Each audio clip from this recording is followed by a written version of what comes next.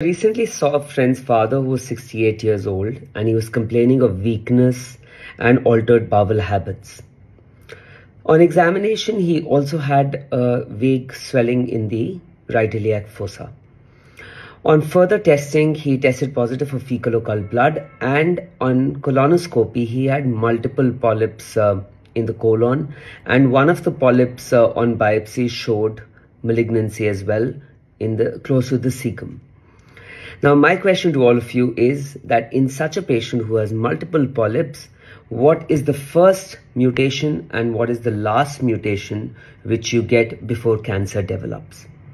Also, watch this update from the latest Bailey regarding MUTYH polyposis or MAP syndrome, which is similar to FAP, but check out the difference.